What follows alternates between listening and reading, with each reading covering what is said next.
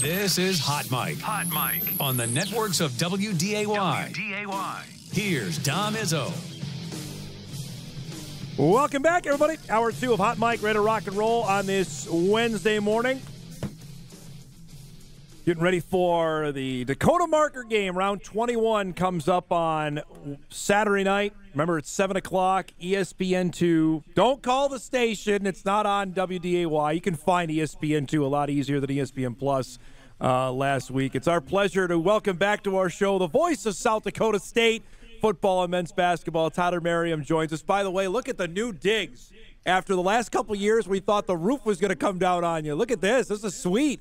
It still might. It still might. But in all the construction of First Bank and Trust Arena, we're able to move into it for volleyball. That's been a rousing success. Obviously, they're the only undefeated program left in Division One women's volleyball. And with all of that, we got some new digs and just trying to live up to the lofty standards that you have established for Dakota Media, Dom. Uh, I'm going to be calling the uh, Jacks Bison volleyball match. I want to ask you about that. Is that a total surprise on SDSU volleyball in your mind?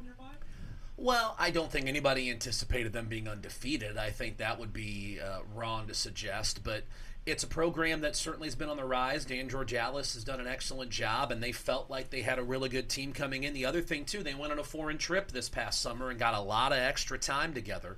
And so, where so many programs in the Summit League were dealing with transfers and all these new faces and trying to get uh, acclimated with everybody in early August, the Jacks kind of had a head start, and that helped. And they just have so many weapons. I mean, they're using a 6-2 setup with with two different liberos and two different setters, and it's it's really worked well. They are a fun team to watch. Can't wait. I'm really looking forward to that one coming up uh, tomorrow night.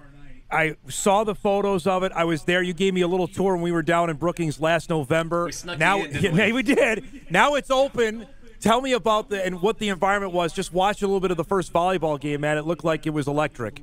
No, so much fun. I had the privilege of calling the first one, as you get to call volleyball t- uh, tomorrow. I got to. It was so unique, so much fun. Um, one of the things about Frost the last decade or so was the student section and the lower level was elevated a little bit. Yep. That's no longer the case. And so now the opposing student athletes are looking eye to eye with the student section. So that's a little different here than it's been in the last decade or so. So that's certainly a, a bigger deal. And everything's just tighter. The biggest concern, Dom, when it, we made this decision to renovate the arena was are you going to lose the home court advantage and that sound? And with everything now being tighter, the noise is even louder. Mm. And you get that band right next to the visiting bench.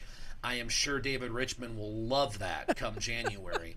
It uh, it is intense and uh, it's cool. It really is cool, and and uh, I'm excited to see basketball in there. We've obviously gotten a, a neat little uh, look at it already with volleyball. It's going to be fun to see wrestling in there too. It's going to be a lot of fun. And uh, visiting with both basketball coaches last week at Summit League Media Day, they are extremely excited about that, knowing full well the schedule of the team, especially AJ, what he has coming in there for the women's side. That could be electric opening night. Well, and opening night will be Creighton, who Yeah. uh, on one of the preseason polls is ranked already in the top 25, and the, the Jacks won't be too far off. So it's going to be a heck of an opening night for, for basketball. The only weird thing about that is that that opening night is before football at North Dakota the next day. So there'll be some of us that will put on some hours, Dom, but uh, it'll be a lot of fun. You hours never. Come on. Um, Again, following your lead. Yeah, well, come on now. So, tell me about this Jackrabbit team. I think from afar, and I, you know, we follow it as close as we try to. That Oklahoma State played out. We, Oklahoma State's pretty good. Then the the games following a Incarnate Word, they won. The game with Augie, I think, had maybe some fans scratching their heads. Then the bye, and then the, the, the last couple game or the Southeast Louisiana game, then the bye, and the last two. Tyler, it's like okay, the, these are the Jackrabbits. You've seen them up close. Give me your evaluation of 2024. I think that uh, again, like you said, the Oklahoma State game, the the Jacks got off to a slow start, dug themselves a hole, and just couldn't get out of it. And Incarnate Word is very good, very athletic. The Jacks made a couple of mistakes early, and that's a, a tie game early in the third quarter. They bust a screen for a touchdown, and since then, the Jacks defense has been really, really good. It's given up three touchdowns since, and two of those to Youngstown State on Saturday, and one really didn't matter. But defensively, they've been very, very good. Offensively, it hasn't fully clicked, but it's getting really close. Um, rushing game wise, they're so deep at running back.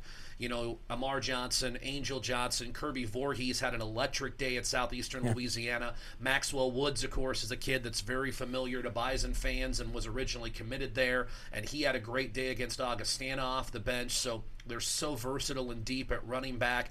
Gronowski's just been a little bit off in the passing game for whatever reason. It's been good, it hasn't been great. And some of that is because you have such high expectations of a Walter Payton Award winner. So you anticipate every pass will be a 50 yard touchdown, and when it isn't, all of a sudden you're almost groaning in disappointment. And so it's not necessarily his fault, but they've been very good. Um, certainly, they haven't been tested other than Oklahoma State quite like they will on Saturday. And even that, the level of physicality is different. You know, it was more about speed on the perimeter against Oklahoma State.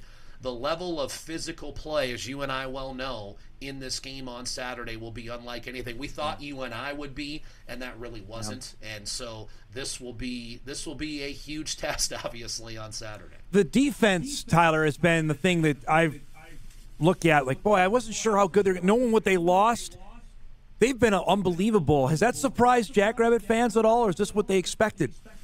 I think they expected the defense to be good. You could always argue just how good they've been. I mean, the the three game stretch there with Southeastern, Augustana, and UNI is the fewest points allowed in a three game stretch since the early 60s by a Jackrabbit football team. So remarkable in that regard again shuffling a lot of guys in and out up front. The linebacking core has been really, really good, and everybody points to Bock, and that's fair.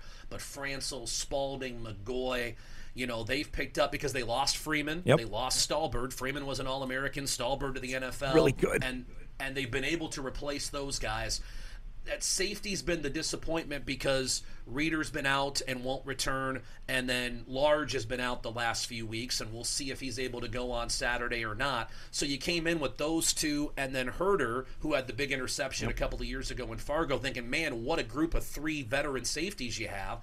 And the Jacks have only had one of them really at a time the entire year and yet they've been able to get by. Uh, you have to give a nod to Colby Humphrey too. Humphrey's been so good opposite Beanum. Those two corners have been phenomenal to this point. Even Oklahoma State didn't have the success in the passing game it thought it would. It, it had some plays, but Humphrey and Beanum really did a job. And and again, we know those corners will be tested by such a, a versatile and deep group of Bison receivers, but that defense has been very sound. I look at the line of SDSU backs, and now Amar Johnson, I thought had his coming out party against the Bison here a couple years ago. What makes him the next in the line of great SDSU backs in your mind? I think in that game two years ago in the national championship in Frisco as well, you saw his ability to run to daylight, and he's very good at changing direction what's impressed since is that he's really taken to heart what he learned from Isaiah Davis about how to be more of a physical back. He doesn't have the Davis level stiff arm yet, but he's added that to his arsenal, and uh, and he's more physical of a running back. That's what's really stood out this year, Dom, because going into the year, the question outside was, okay, if Amar Johnson is the feature back, is he going to be able to be as physical as an Isaiah Davis was? And again, it's hard to be as physical as Davis was, but can you bring something similar to that? And he really has. He's been very good. Uh, he's been excellent out of the backfield as a receiver on top of things. So he just brings a, a different dimension there that. Uh, he does some things Davis didn't do quite yep. as well, you know, and so he's not as physical of a runner, but he's a better receiver. And Davis was good in that game, but Amar's even better in that regard. Uh, I know you can give us the kitchen sink on Chase Mason after what we saw Saturday against Youngstown State. I know how amazing an athlete he is. Was were they just itching Ryan Olson itching to get him involved in the game like they did Saturday? Well, they've been using him all year in a variety of roles, and that was one of the things coming in. And this program over the last few years, you know, you go back to when they had Goedert and they'd find ways to put four wideouts and Goedert out there. And it was all about how do we get our six best skill position players on the field. And at times it was Davis and Amar Johnson together a year ago as running backs. At times it's been multiple tight ends. In this case, it was hey, we have such a dynamic playmaker in Mason. We can't just let him sit on the sidelines waiting to see if Mark gets hurt or to take a knee in the fourth quarter. We have to find a way to use him. But again, you're you don't want Mark to not run the football. So what do you do with him? So they've created some of these things. No doubt, watching Montana State and what they did with Mellott and Chambers uh, has helped in some of the design. But they've used Mason split out at wideout. They've used him lining up as a running back. They've had him take the snap with Gronowski on the field next to him, or with Gronowski lined up as a wideout. They handed the football off to him as a traditional tailback on Saturday, as Yeah. you mentioned, and he runs 39 for a touchdown. And he is deceptively fast. He's big, he's athletic, but when he gets out in the clear, he can really run too. And it's uh, it's quite the dimension. And they again, they're going to get him on the field for whatever it is. 10 plays. I mean, maybe it's not quite that many, but they're going to find a way to get him involved in the offense every week, and they continue to use him in different ways as well. How do they find another monster tight end in Graham Goring? How did how, they just keep finding him? What about this guy? Well, and- Goring's a wide receiver. Goring and Wilde have been the two Yeah. wideouts. They've got five tight ends they use. And here's the fascinating thing, Dom, about the tight ends is that the five tight ends, you know, we, we joked about this with Northern Iowa a couple of weeks ago. They have two tight ends. When they call a two tight end package, the two tight ends play. SDSU has the two tight end package with Gannon and Alpers, and the two tight end package with Gormley and Gannon, and the two tight end package with Brennan and Gormley. So they have, I think it's 39 different packages based upon which tight ends they want on the field. And then let's throw one more wrinkle onto it. There was one snap on Saturday, Dom. They had seven offensive linemen in the game. They played six offensive linemen, got to the goal line, and then put another O lineman in for a wideout and had seven offensive linemen on the field. So they're going to use their bodies. Again, they're going to find a way to do it. The tight end room is long. They don't necessarily have yet that Tucker Kraft or that Dallas Goedert or that Zach Heins, but they love the depth of the room. They're going to use that room. And as I said, you watch they're uh, they're going to be sending bodies in and out at tight end all game long. You have to have your program handy to know which ones are in the game. You uh, you've been around this team forever. They're ex- experienced. This is a monster two game stretch. I, I, I'm interested about how they attack this, knowing they got USD primetime game the week after that in Brookings, and this is a monster one as well. How with a, with a veteran team, you have you can't worry about that, right? That they they're they're locked in for what's coming Saturday night. Oh, absolutely. There, there's no looking past North Yeah. Dakota State if that's what you're getting at, Dom. It's one game at a time. Are they excited to be on national TV again and be at home? Certainly they are, but I mean, they're excited to play in November at home too. I mean, there's it's one week at a time, and this is such a pivotal game, one versus two, and and uh, you know, there's always the is it easier to be the hunter than the hunted, and we can come up with all these different phrases. And I know from the stories you guys have done about how badly North Dakota State wants that marker back, and certainly understandably so. But it means a lot to South Dakota State too, and and everybody knows what this means. I mean, it puts you in the driver's seat. Yes, USD is still sitting out there, and they're an exceptional football team. And I, as you guys have talked, we know Missouri State's going to have a say Yeah. in this thing, and and uh, there's it, it's not a cakewalk the rest of the way. But if you win this game, you're in the driver's seat for a Valley Championship, for a top two seed. We know what that home field advantage means. NDSU doesn't want to play in Brookings in the snow in December. The Jacks don't want to play in Fargo in December. Nobody else does either. But neither one of those two want to play the other on the road. So they know how much Saturday means, and they'll handle USD next week. They've got to get through this, and and uh, and again, so many of these guys know each other too. You you got to remember that too, Dom. A lot of these guys are recruited by both schools, and uh, they know the backstory. They know each other. That matters a lot in this thing too. We're gonna have Danny Freund on the show on Friday. What is his twitch or tweak to the offense? How is that noticeable? Have you seen that this season? I mean, he's had his hands on it. I don't think there's any one thing you look at and go, boy, that's what Danny Freund did. But I know he brings a lot of ideas. I think the thing that's been most impressive is for somebody who called the plays at North Dakota as long as he did, coming into what could be viewed as a lesser role from an outsider's perspective. You don't get the sense of that at all. He is ecstatic to be here. He's fit in great, which if anybody knows him out there, I know you do. He's just such a terrific guy in general off the field, and so he's hard not to like. And then on top of it, he's just floated out some ideas, and he's a great sounding board for Ryan Olson. You know, Olson, the offensive coordinator, is an offensive lineman by trade, and and so to have different perspectives are good things. They blend well, and and Olson says he takes a lot of ideas from Danny. Olson's the one calling the plays, but those two obviously chat throughout the course of the day, and and uh, so there isn't one specific thing you look at. But let's not kid ourselves. You can you can tell like there there's some wrinkles in there, and you know he's got his hands in it.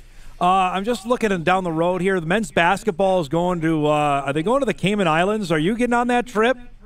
I am not because who can pass up Springfield, Missouri, Dom? I mean, I looked at my options and I went, hey, how could I not go to Springfield, Missouri when the opportunity awaits itself Oh, to to be there for the last game in the history of the Missouri Valley Football Yeah. Conference for the Fighting Bears of Missouri State University was too good to pass up. You But do have a trip to Tuscaloosa though later, which I know Bison fans will have uh, their eyes on. That that's really neat that the that the Jacks are going to play Alabama.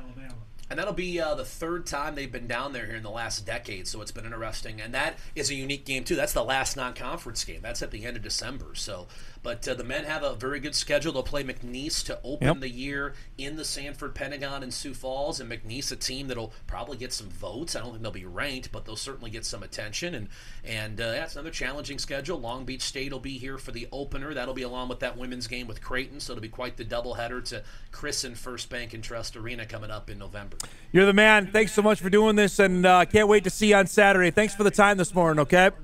Uh, it's always a privilege. Are you going to be able to pull yourself away from the Mets this week to focus on this football No. game? I've been concerned. No, no. I mean, between that and the Davante Adams signing and everything else, Dom, you know, we're, we're, we're worried about It's a you. big just it's so a big know. week. I appreciate that, but uh, tell me uh, tell me what the Mets series is on Saturday. Are we up, or is it? o- If it's over, then I know I'm going to be in a good mood. Then you know. Well, I, I can't control those things. I mean, we're just along for the ride, and and uh, and I just hope that uh, that Kolpack and McFeely and the crew take it easy on you Yeah, uh, no, it's- no, it's no chance of that. Yeah, there's no chance of that happening. It's great to see you, bud. I'll see you on Saturday. Okay. Sounds good. Take care, my friend. Tyler Merriam, voice of South Dakota State. He does football and men's basketball. Does an amazing job on both. We appreciate his time this morning, as always, from the pretty neat palatial studios he's got uh, there. It is the new uh, First Western Bank and Trust Arena down there in uh, Brookings. Can't wait. We're gonna hopefully we're gonna get a first uh, glimpse of that come up during basketball season. We've been invited. Not sure if we're gonna go, but we've been invited uh, to come down for that. And you just look at it and we saw a few clips there from the game against Oklahoma State, the game against Youngstown. We'll have more on this throughout the week.